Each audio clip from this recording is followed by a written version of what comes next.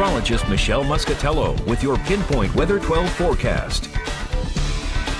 Well, it's only Wednesday, but we've already been talking about what a beautiful weekend we have on the way. Lots of sunshine with temperatures up slightly warmer than normal Saturday and even up a bit more on Sunday. And it looks not only dry during the day, but comfortable at night. Same can't be said for the next 36 hours. We're going to get a period of unsettled weather in here. And along with that, some gusty winds and some higher humidity. East Providence, you can see the wind shaking in our cameras this morning. And along and south of Providence, we've had a few sprinkles and lighter showers that have been approaching. And we're going to keep an eye on this for the next, say, two hours. That's when these will be passing to the east and we'll be seeing a couple of raindrops in some spots. It's nothing significant, but uh, cloudy skies for now. 69 in Boston where we've seen some sunshine. Upper 60s in Providence. Taunton going to see a period of extra clouds here to finish out the morning. 64 in Richmond, about 65. A couple of sprinkles in Narragansett. The dew points are on the rise. Anytime you get close to 60, that's when you start to notice the stickiness in the air. So we're already there in Westerly and by the end of the day, dew points in Providence will be up to around 60 degrees or higher. So dew points today will make the air feel sticky, downright muggy tonight and into Thursday. And then those dew points start to drop again for Friday and the weekend.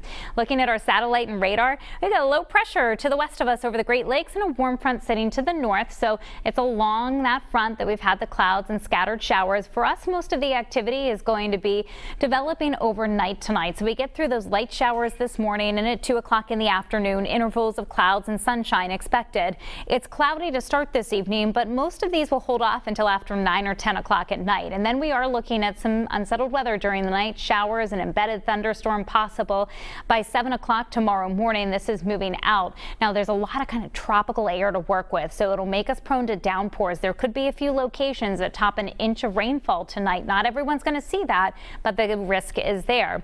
Now, here's the front 7 a.m. tomorrow morning. This cool front is going to act as a focus for a few additional showers to pop up during at least the first half of the day on Thursday. So we'll keep a shower or thunderstorm in the forecast Thursday before the skies clear out for the evening and nighttime hours.